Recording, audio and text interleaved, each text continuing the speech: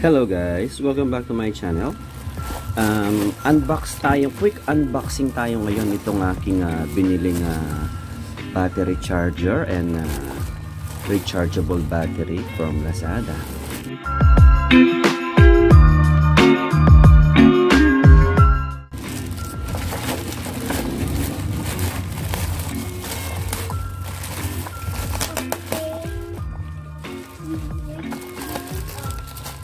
Sobrang bubble wrap niya. Guys halos ayaw.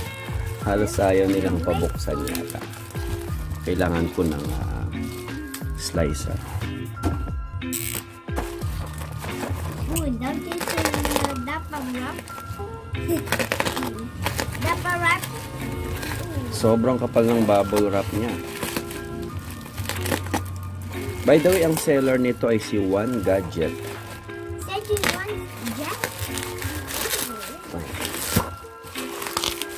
quick unboxing lang to guys kasi medyo wala akong boses kaya para lang ano makita niya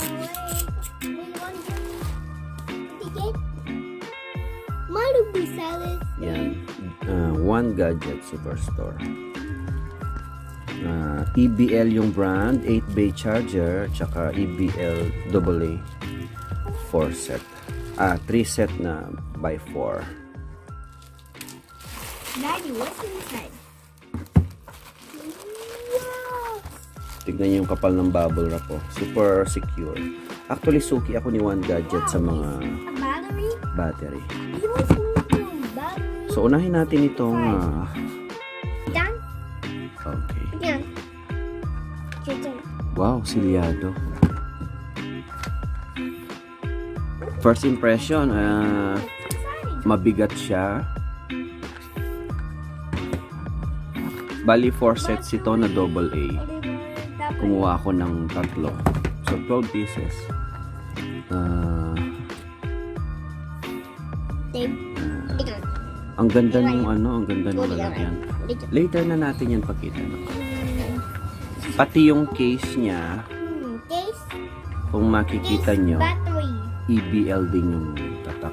I don't know kung saan ang galing itong brand na to. EBL. Ah, sealed. Sealed yung pinaka-case niya. Ah, buk buk buksan natin. Nasa tabi ko yung anak kong madaldal.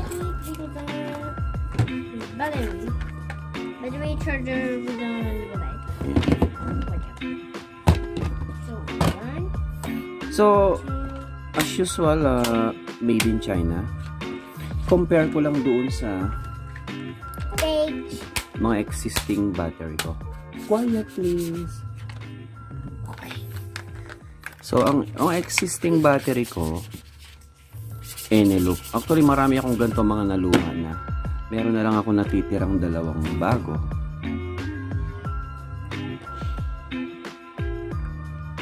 No, ito made in Japan.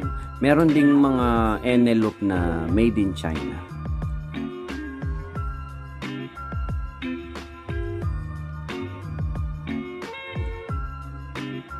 So, ito So, itong Eneloop ko is uh, envelope. 1,900 milliamps. Itong bagong EBL ay ah, 2,800 milliamps. So, di hamak na mas mataas siya. Pero, i-compare pa natin no? kung, kung ano ang difference nila.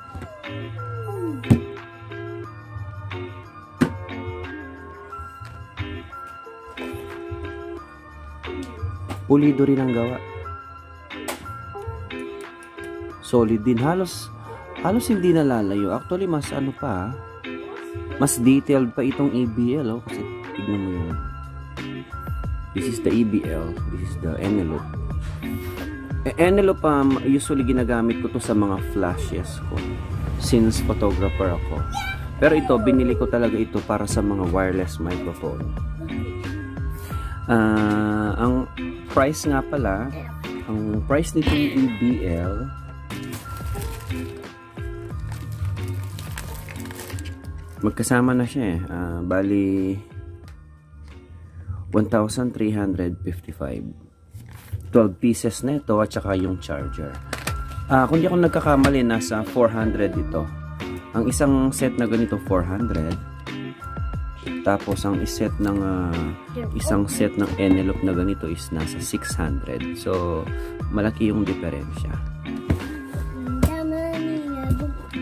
Sinulatan ko lang ng ano, may markings ako para hindi ano, hindi nagkakahalo, nagkakalito ito. Ito one gadget yung lalagyan niya. Pero itong bagong order ko, ibigay So, tetestingin ko ito bukas kung ah, may charge na siya. Mas gusto ko yung case nitong EBL kaysa dito. Okay? Now, check natin yung charger mismo. EBL din. Ah, I'm not sure kung saan itong kung saan galing itong brand ng EBL na ito eh. At saka mas maganda kung yung battery nyo at saka yung charger nyo pareho. By the way, ang existing charger ko doon sa mga Eneloop ko ay ito. Napakaganda ng charger na to. Yun nga lang kasi wala na akong mabiling ganito. Halos palagi, basta nagbubukas ako ng Lazada at Shopee, tinitignan ko to. May makikita kang ganito pero hindi na siya no. Hindi na siya fast charger, standard na lang. Ito kasi 2 hours, puno na yung battery.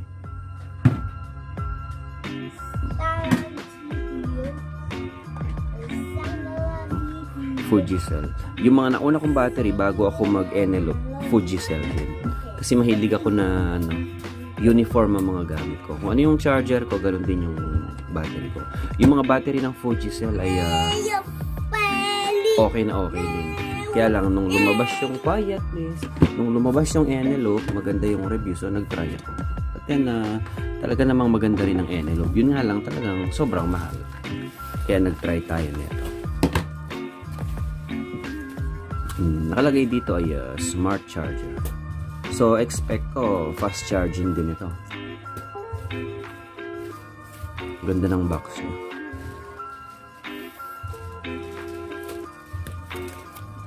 Buksan natin.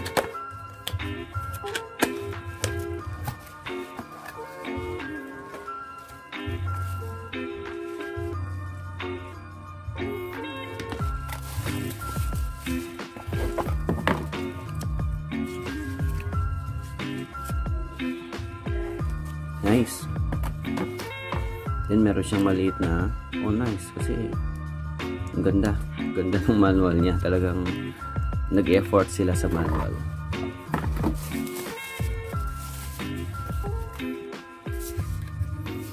First impression, maganda rin siya. Quality ang ano niya. Quality ang hard plastic siya. So, nakalagay smart charger. So, expect ko dito, mabilis mag-charge. Tapos, pag fully charged na yung battery, mag-shut off siya. Rekta siya sa 220. May mga nabibiling ganitong uh, 8 bay or 4 bay na battery charger. Hindi siya rekta sa 220. 5 volts na micro USB ang gamit. Tapos i-attach mo dun sa charger mo ng cellphone. Sa akin kasi pagka ganun parang medyo parang medyo matagal mag-charge. So since ito maganda siya, uh, I think sa susunod na medyo maluwag-luwag kukuha ulit ako ng isa pang ganito. Ang ganda pulido magaan lang. So ito ay para sa double A at triple A.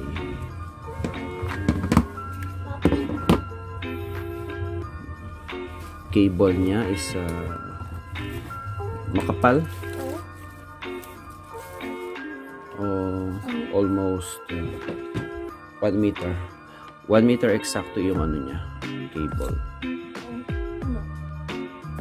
makapal maganda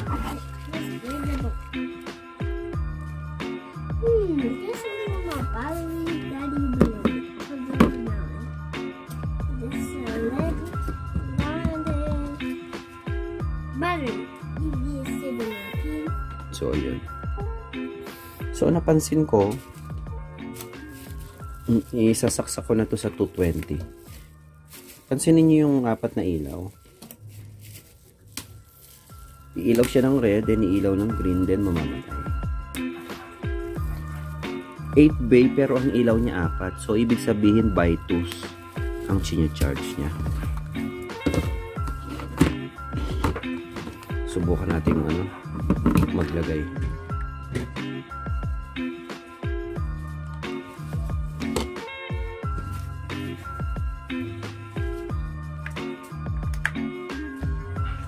Hindi siya umilaw. So, tama nga.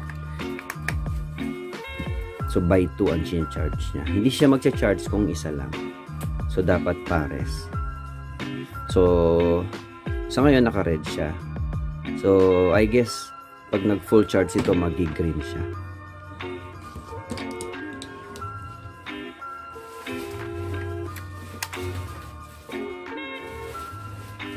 Nag-red. Ilipat ko na lang dito. Good din siya, umilaw.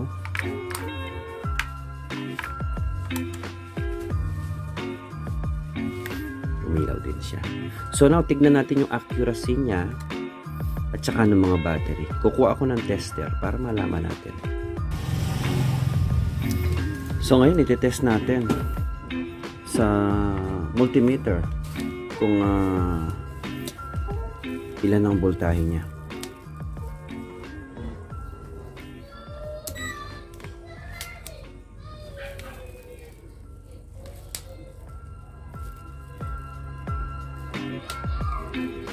One point three.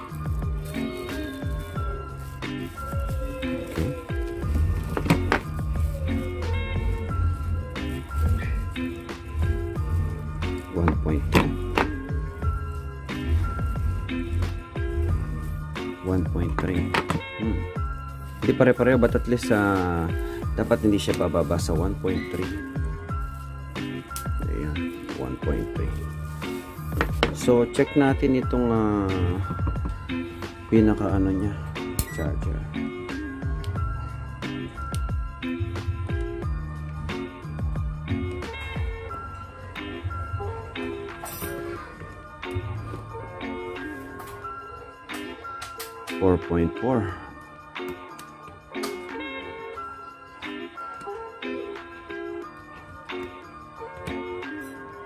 4.4